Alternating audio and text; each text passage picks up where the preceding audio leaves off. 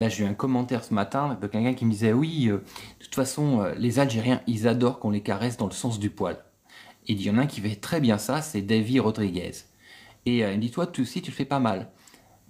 Mais en fait, je suis pas là pour faire plaisir ni caresser le poil des gens, ni le poil des Algériens, je veux dire. Je suis pas là. Je fais pas des vidéos pour faire plaisir aux gens. Je fais pas des vidéos pour faire plaisir aux Algériens. je fais des vidéos euh, en mon âme et conscience, en, aligné avec mes, mes valeurs. Voilà, mes valeurs, mes principes. Et, euh, c'est vrai que oui, oui, l'Algérie, mon pays de cœur.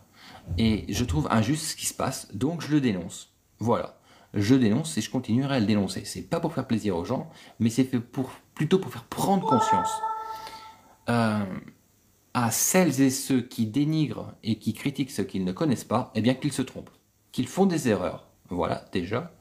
Et d'un autre côté, si moi, à mon niveau, avec euh, effectivement mes réseaux, je peux porter écho, faire écho à, certaines personnes, à certains propos qui vont être euh, eh bien, moins écoutés, on va dire, parce qu'ils proviennent directement de l'Algérie, eh bien je le fais, et je le ferai, et je continuerai tout le temps, quoi qu'il se passe, quoi qu'il arrive, quoi qu'on me menace, quoi que.